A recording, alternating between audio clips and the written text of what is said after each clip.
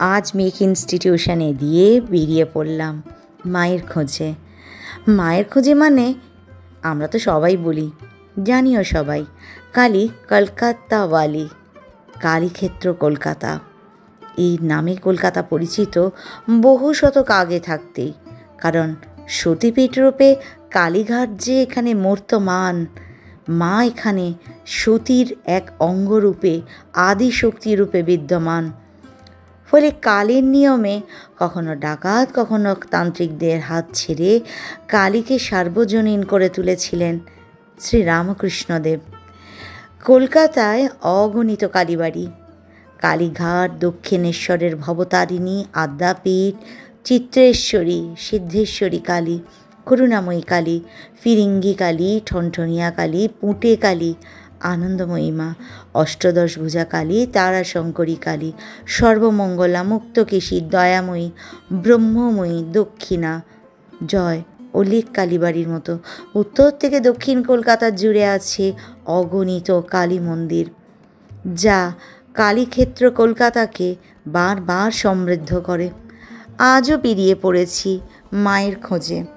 যাচ্ছি, বুঝতেই পারছ, মাওরাল পুলের উপর দিয়ে। একদিকে আইটিসি সোনার বাংলা, আরেকদিকে নতুন নির্মীয়মান মেট্রো স্টেশন। এই জায়গাটা বরাবরের মতো আমার কাছে ভীষণ প্রিয়। যত আমি আইটিসি সোনার বাংলাকে দেখি, মনের মধ্যে হয়, আসতে হবে। খুব শীঘ্রই। কখন আর কবে তা জানি না। আমার আজকের যাত্রা, আমার একার যাত্রা। একদম একা বেরিয়ে পড়েছি।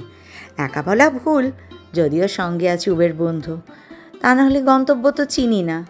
পাশ দিয়ে সায়েন্স সিটিকে ছাড়িয়ে তখন আমার উবের এগিয়ে চলেছে।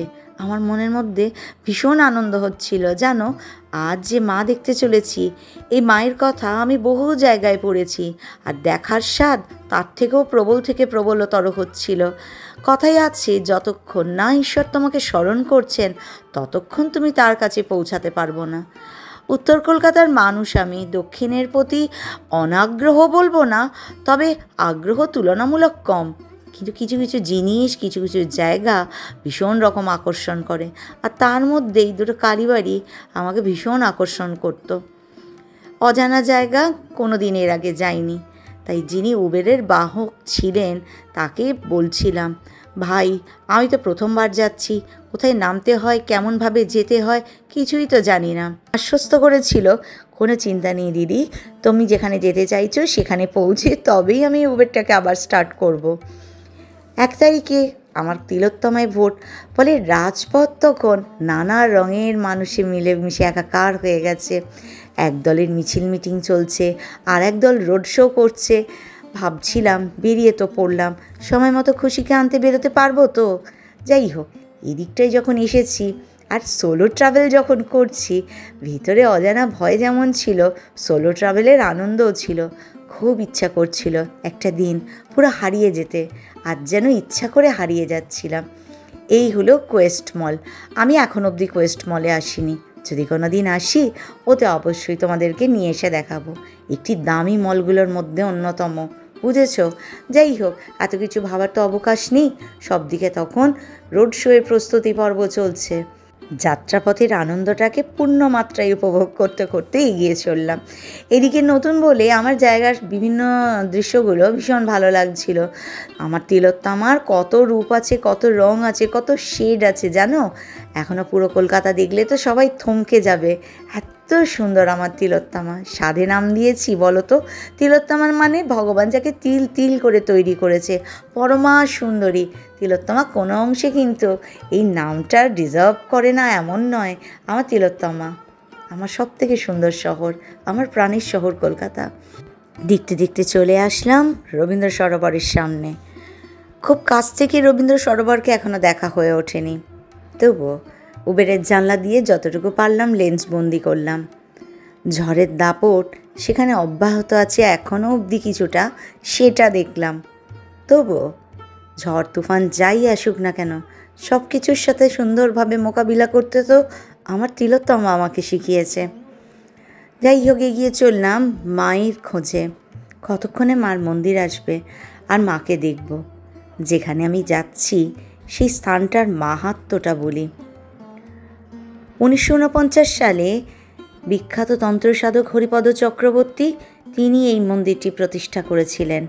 আজ আমি চলেছি লেক কালীবাড়ি। তিনি মন্দিরের নাম দিয়েছিলেন শ্রী শ্রী একশো আট করুণাময়ী কালীমাতা মন্দির। তখন দক্ষিণ কলকাতার চেহারাটা একটু অন্যরকম ছিল। সাধারণ মানুষের কাছে তিনি ছিলেন গুরুদেব। মায়ের সাধনা করতেন। মায়ের সাধনায় সন্তুষ্ট হয়ে মা নাকি তাকে দর্শন দিয়েছিলেন। তিনি মানবজাতির শান্তির উদ্দেশ্যেই তন্ত্র সাধনা করতেন। পঞ্চমুণ্ডির এক আসন তৈরি করেছিলেন। পাঁচ নরমুণ্ড দিয়ে সেই আসন তৈরি আছে। কালীমূর্তির পাশে সেই আসন আজও বিদ্যমান। মন্দিরের পাশের ঘরে রয়েছে হরিপদ চক্রবর্তীর মূর্তি। এই মন্দির স্থাপনের জন্য মা যখন স্বপ্নাদেশ দিয়েছিলেন তখন সাধক ছিলেন দরিদ্র। মন্দির তৈরি করতে যে বিশাল খরচ তা তার পক্ষে বহন করা সম্ভব নয়।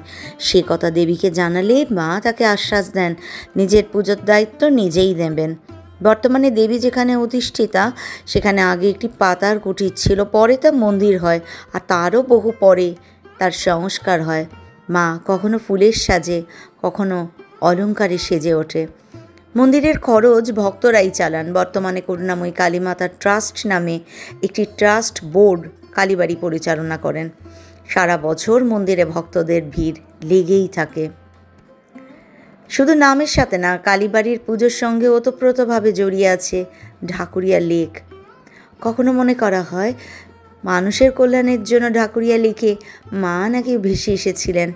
আবার কখনো সাধু হরিপদ চক্রবর্তীকে দর্শন দিয়ে মা তার কাছে এসেছিলেন মানবজাতির কল্যাণের জন্য। আমি তো আজকে তাকে দেখে পুরো আত্মহারা হয়ে গেছি। ওই আমার অবস্থা খানিকটা হয়েছিল কি চাইতে এসেছি, প্রথমে তো সেটাই ভুলে গেছিলাম।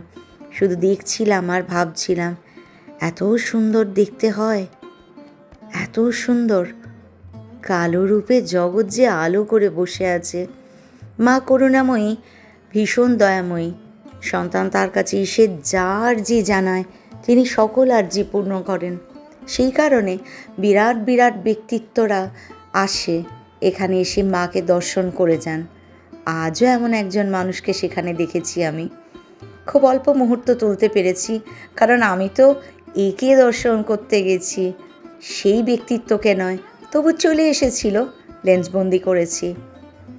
দেখছিলাম আর ভাবছিলাম, ও, জানো, মায়ের পাশে একটা জগন্নাথ দেবের মূর্তিও আছে।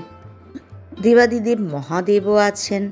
এই মন্দিরের ভিতরে মা বগলা দেবীর মন্দির আছে, মা দক্ষিণা কালীর পুজো হয়, মন্দিরের মধ্যে সন্তোষী মায়ের মূর্তি আছে আর দশ মহাবিদ্যার সপ্তম বিদ্যা দেবী ধূমাবতীর মূর্তি আছে।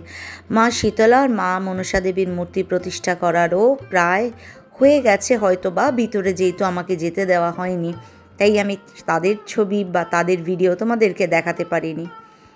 এত সুন্দর জায়গা দেখলাম, মন ভরে গেল। মাকে ভক্তিভরে প্রণাম জানিয়ে সকলের মঙ্গল প্রার্থনা করে বাড়ি আসলাম। আসার সময় বললাম, এত ভালোবেসে ফিরলাম যে আবার আসতে হবে। আর দেখো ছবিতে পুরো মনে হচ্ছে মা ভবতারিণীর মূর্তির সাথে সাদৃশ্য যেন ভীষণ।